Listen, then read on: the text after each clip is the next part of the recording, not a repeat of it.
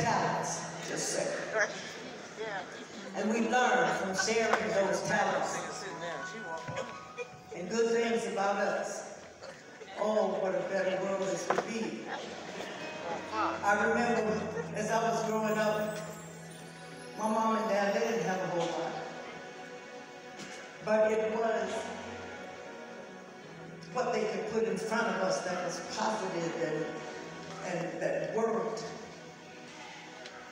that they tried to give us, and I give them kudos because they certainly did make that happen.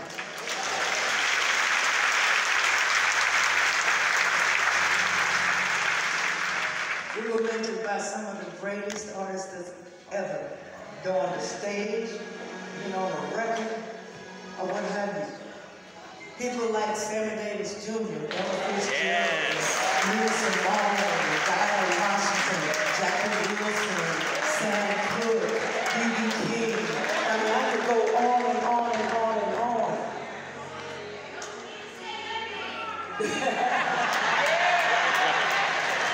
Thank you very kindly.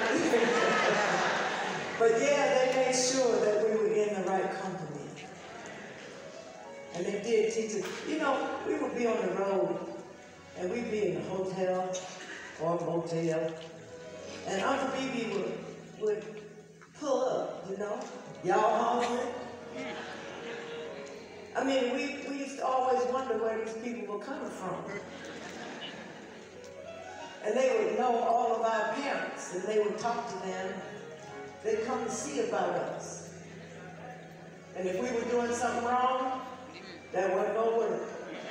They had authority to chastise us. All right.